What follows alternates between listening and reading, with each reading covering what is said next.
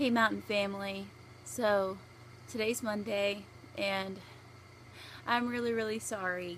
I hope you're not upset, but um, I'm just having a really bad depression day today.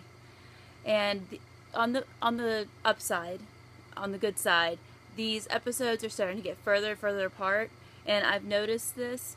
Um, I've been vegan about two-ish weeks now, and I'm noticing noticing that they're starting to get further apart.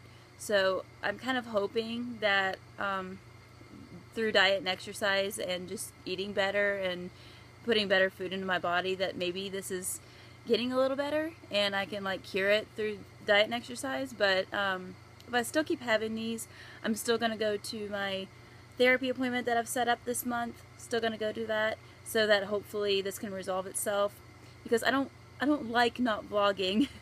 I don't like having low energy and not being able to vlog.